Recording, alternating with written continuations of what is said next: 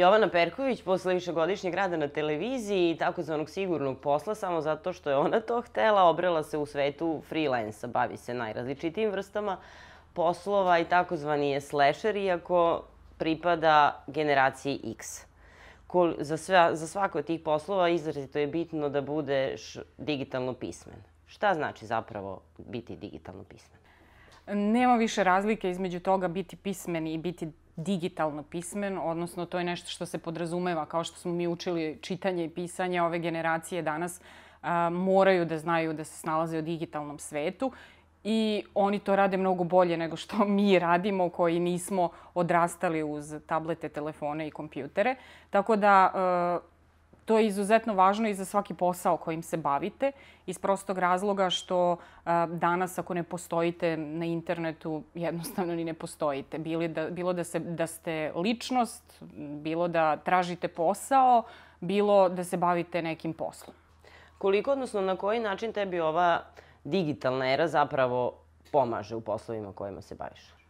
Pa meni pomaže u, u ogromnom, ogromnoj meri iz prostog razloga što sam ja iz jedne redakcije sebe izmestila na tržište koje je globalno.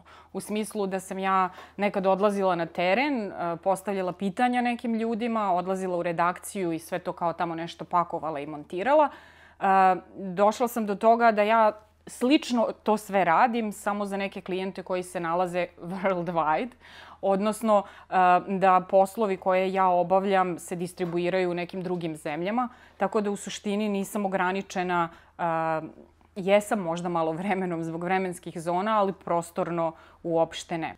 Sada malo osvetlimo taj svet cupcake-ova, pošto pored toga što se ti baviš najrazličitijim mogućim poslovima koji se odnose na internet i na poznavanje rada na računaru, ti zapravo praviš i cupcake-ove. Koliko ti je pozna, digitalna pismenost pomogla da se ti probiješ u tom svetu cupcake-ova?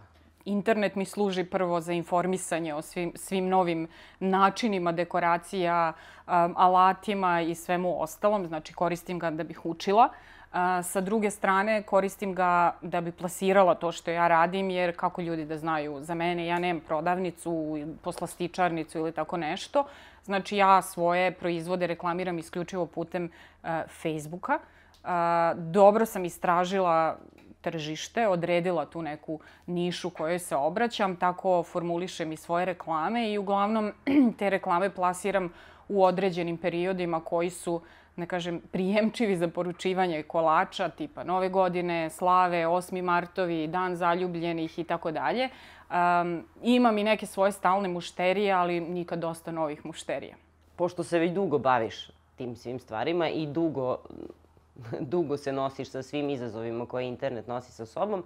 Koje su to neke prednosti i mane interneta i šta je ono na što bi neki novi konzumenti trebali da obrate pažnju? Gde je ta kvaka 22? ukoliko e, želite da se pozicionirate u tim nekim sferama blogerskim, na društvenim mrežama i to, e, ključna stvar koju treba da uradite je da budete iskreni prema sebi i iskreni prema drugima. I da ne zloupotrebljavate intelektualnu svojinu drugih ljudi.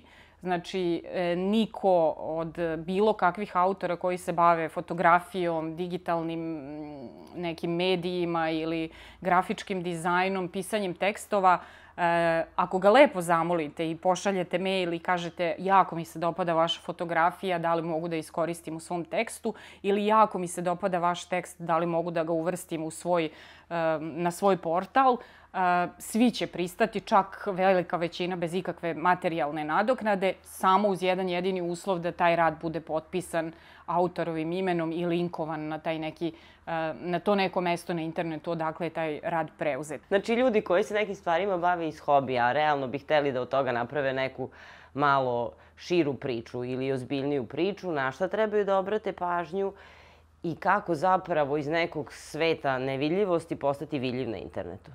Ono za što je internet najbolji, bar ja tako mislim, to je self-marketing.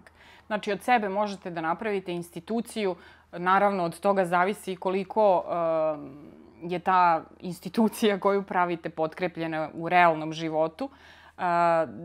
Od toga zavisi koliko ćete biti uspešni. Vi danas kad pogledate neke profile na Instagramu, imate utisak da ti ljudi žive ne znam kakav glamurozan život u Srbiji. Mislim, to je samo predstavljanje sebe u takvom svetlu, što ne mora uopšte da znači da je, da je tako. Međutim, ja mislim da su recimo blogovi um, idealno mesto da vi u stvari pokažete šta znate i da predstavite sebe na jedan način um, i u svetlu koje vama odgovara. Ja sam recimo iskoristila uh, taj blog koji pišem uh, na način uh, da kada sam otišla sa tog sigurnog posla sa početka priče, tražeći neke tekstove da obučim sebe kako da tražim posao, kako ja to da se ponašam na tom razgovoru za posao, kako uopšte sve to izgleda jer ja u životu nisam bila na razgovoru za posao, osim što sam bila na nekoj audiciji za televiziju. Uh, shvatila sam da ni, ni jedan tekst koji sam ja pročitala mi nije dao odgovor na moje pitanja, a bilo ih je hiljade. I onda sam počela da čitam neku literaturu i da sama pišem blog da bih nekim drugim ljudima koji se susretnu sa istim problemom uh, pomogla. Ono što me raduje jeste što taj moj blog raste. U smislu da ja svaki dan imam sve više pratilaca, um, da neki tekstovi se više čitaju, neki manje, ali uglavnom se više čitaju oni tekstovi uh, koji govore o tome da prvo sebe treba da menjamo da bi nam svima bilo bolje i da od tog nekog negativnog stava uh, nema posla, svi su nam krivi. Smo došli do toga da imamo celu jednu generaciju ljudi koja je uzela stvar u svoje ruke i traži posao za sebe, ali to što oni traže posao ne znači da će ih neko zaposliti, nego znači da će možda i oni sami sebe zaposliti. I mislim da je to ključna stvar u tom jazu između generacija, jer smo imali naše roditelje koji su završavali fakultete i odmah dobijali poslove i to menjali su ih samo ako su hteli, uglavnom su ostajali na tim poslovima do penzije. I imamo te neke generacije u koju, u koju sebe ubrajam, a to su generacije koje su u prvim godinama svog radnog života izmenjale nekoliko poslova, da dolazimo do toga da nove generacije u isto vreme rade više poslova. Pa oto da i onaj naziv slasheri, jer mislim da uh, ukoliko nemate taj neki osnovni kancelarijski posao ili ne bavite se, um, ne znam, niste lekar ili tako neke stvari, da prosto morate da budete um, vešti da se snađete u tom svetu i da radite nekoliko poslova isto vreme. Bilo da ste dizajner, pisac ili šta god.